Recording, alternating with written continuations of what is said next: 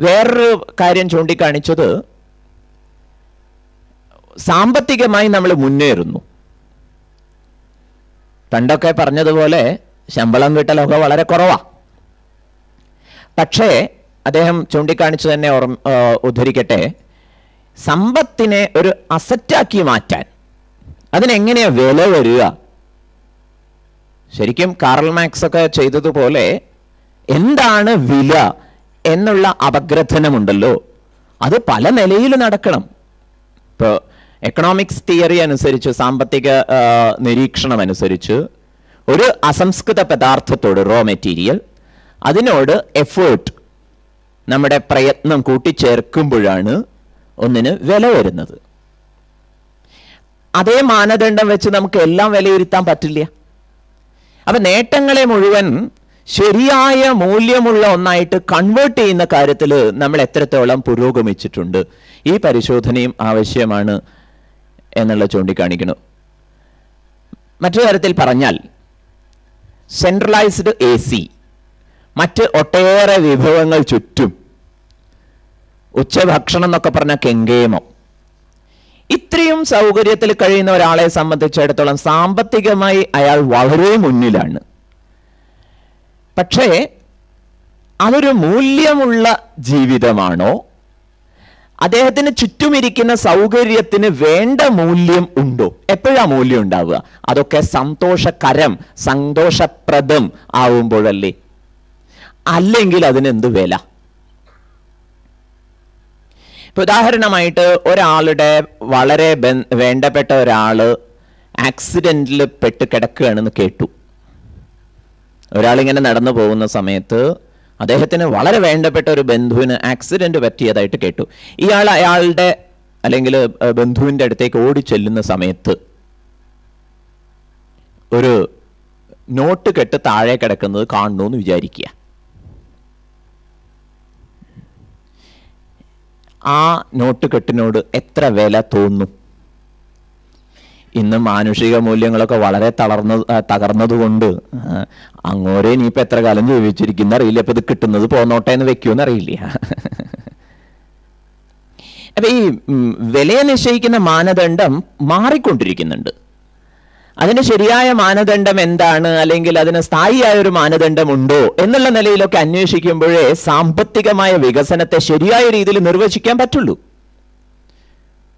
ഇപ്പൊ നമ്മൾ വന്നിട്ടുള്ള ഒരു അപചയം ആലോചിച്ച് നോക്കൂ. അമേരിക്ക എത്രയോ കാലമായിട്ട് സമ്പന്ന രാഷ്ട്രം സമ്പന്ന രാഷ്ട്രം സമ്പന്ന രാഷ്ട്രം എന്ന് പുകൾ പറ്റതാ. ഒറ്റയടിക്ക് എവിടെ പോയില്ല. എന്താ സംഭവിച്ചത്? മനസ്സിലാവുന്നില്ലേ? ഒരു മായികമായ അവസ്ഥയായിരുന്നില്ലേ പ്രൊജക്റ്റഡ് ആയിരുന്നില്ലേ ഇതുവരെ?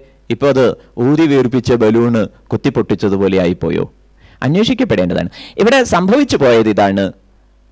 സമ്പത്തുണ്ടായാൽ മാത്രം പോരാ അതിന് മൂല്യവും കൂടി കൈവരേണ്ടതുണ്ട്. ആ മൂല്യത്തെ നിശ്ചയിക്കുന്ന മാനദണ്ഡം അത് വളരെ ആഴത്തിൽ ചിന്തിച്ച് കണ്ടെത്തണം. ജീവന നിലവാരം ഉയർത്തുന്നതോടൊപ്പം ജീവിത നിലവാരവും ഉയർത്തണം.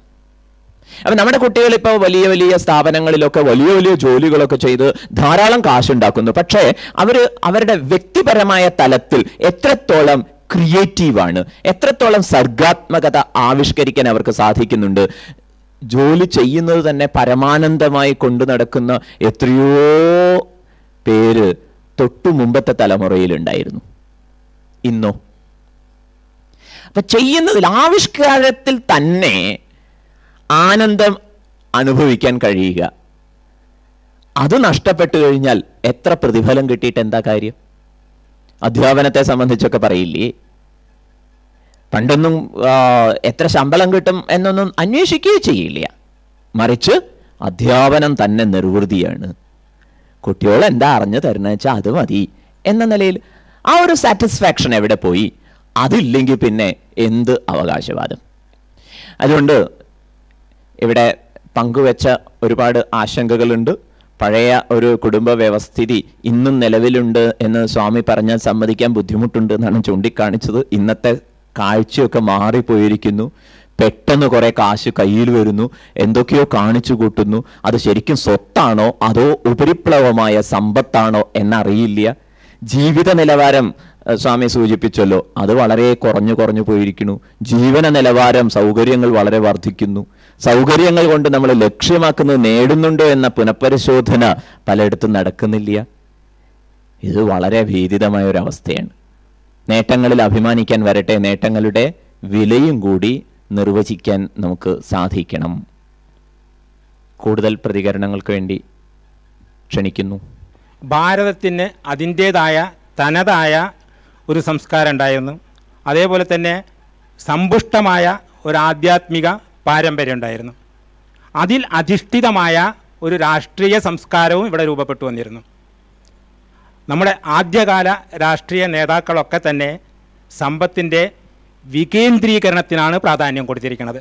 മാത്രമല്ല കാർഷിക വൃത്തിയായിരുന്നു ഭാരതത്തിന്റെ സമ്പദ്ഘടനയുടെ അടിസ്ഥാന മൂല്യമായിട്ട് കണക്കാക്കിയിരുന്നത്. നമുക്കറിയാം ഗാന്ധിജി വിഭാവനം ചെയ്തത് ഗ്രാമസ്വരാജ്യമായിരുന്നു പറയാം അവിടെ എല്ലാവർക്കും തന്റേതായ പങ്ക് നിർവഹിക്കാനുണ്ട്. അതിൽ നിന്ന് കിട്ടുന്ന ആദായം അവരെങ്ങനെയാണ് വിനിയോഗിക്കണമെന്ന് പറഞ്ഞു കഴിഞ്ഞാൽ ചി- ചിത്തത്തെ വിനോദിപ്പിക്കാൻ ഉതകണ രീതിയിൽ ആ സമ്പത്തിനെ വിനിയോഗിക്കാൻ അവർക്ക് സാധിച്ചിരുന്നു പറയാം. കൂട്ടിവെക്കാൻ അവരത്ര താല്പര്യപ്പെട്ടിട്ടില്ല പറയാം. അന്നന്നത്തെ കാര്യങ്ങൾ നടന്നു പോകണം. അത് കൂടുതൽ സമ്പാദിക്കാനുള്ള വെമ്പൽ കാണിച്ചിട്ടില്ല. അതേ സമയത്തോ കിട്ടുന്ന ആദായത്തെ കുടുംബത്തിൽ പങ്കുവയ്ക്കാനും കൂട്ടുകുടുംബ വ്യവസ്ഥയിലായിരുന്നു കഴിഞ്ഞിരുന്നത്. അവിടെ നിന്നൊക്കെ ആ ഒരു ഒരു ഏണിംഗ് മെമ്പർ ആണെങ്കിലും വളരെ സന്തോഷത്തോടുകൂടെ ഈ ഒരു വരുമാനം ഇല്ലാത്ത കുടുംബാംഗങ്ങൾ അവിടെ കൊടുത്ത് കഴിഞ്ഞു പോകുന്നുണ്ട് പറയാം. ഇങ്ങനെയുള്ള ഒരു സമ്പദ് വ്യവസ്ഥ ആര് പറഞ്ഞു നമ്മളോട് ഈ ഒരു മുതലാളിത്തത്തിന്റെ സംഭാവനയായുള്ള ആഗോള ആഗോളവൽക്കരണത്തിന്റെയും ഉദാരീകരണത്തിന്റെയും പിന്നാലെ പോകാൻ നമുക്ക് നമ്മുടെ തനതിൽ തന്നെ നിന്നാൽ മതി പറയാം.